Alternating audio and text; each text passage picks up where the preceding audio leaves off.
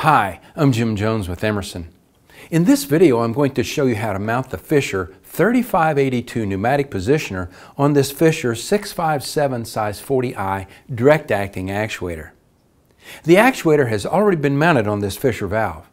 The bench set of the actuator and the stroke of the entire assembly has already been properly adjusted. Of course, we want to always make sure we review and are familiar with all of the safety precautions and procedures found in the instruction manual for the 3582 positioner. Our first step will be to attach the connector arm to the stem connector. That's rather easy on this direct acting actuator.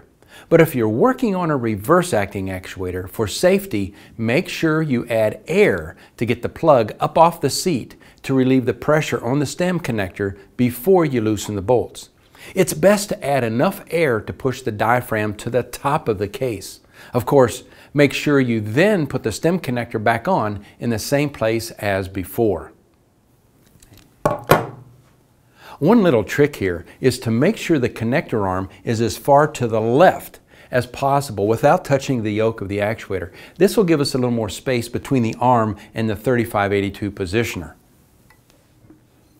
Now, I've already attached the mounting plate onto the positioner. Now we're ready to mount it to the actuator. Which set of holes we use here in the mounting plate is critical. In the instruction manual it tells me that for this actuator, a Fisher 657 size 40i actuator, I must use hole set number 2.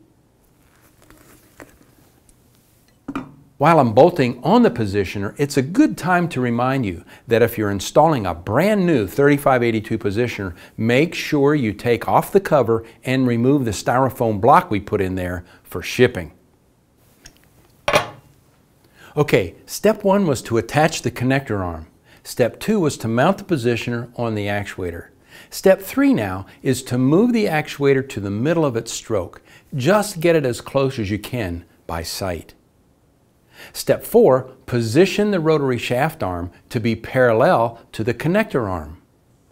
We can double check that by making sure the vertical marks on the rotary shaft arm line up with the marks on the side of the positioner case.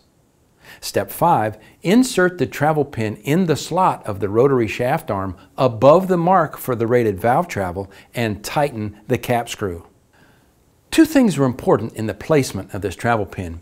First, we want it in the slot over the mark that indicates the rated travel of the valve.